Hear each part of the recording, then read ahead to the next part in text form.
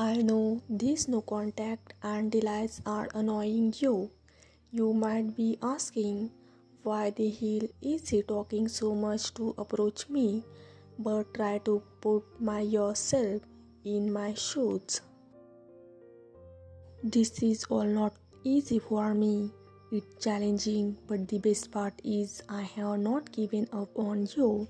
It's not a financial goal that I can achieve by working day and night. It's about my heart. It is about your heart, which is sensitive and gets fearful at times.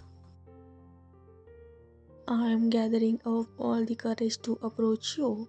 I am taking my times because now I don't want to give you any false hope. I know how much patience, time, and energy you put into this.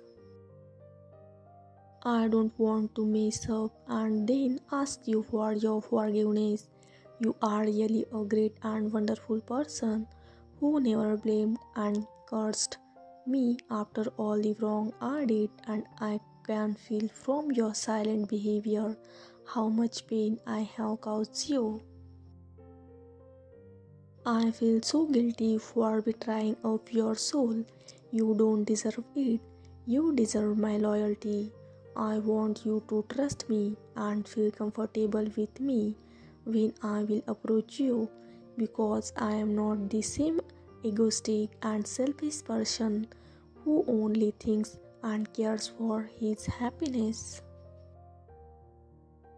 I realized that we felt apart because I was not investing equally. I was just taking and taking without reciprocating. You are a queen and you deserve a real king. Man who is well established, emotionally balanced, confident provider, protector, and most importantly, one who is capable of getting vulnerable without any fear or shame. I was mentally immature boy, not a real man when we first met, but things have changed now a lot. Thank you for watching.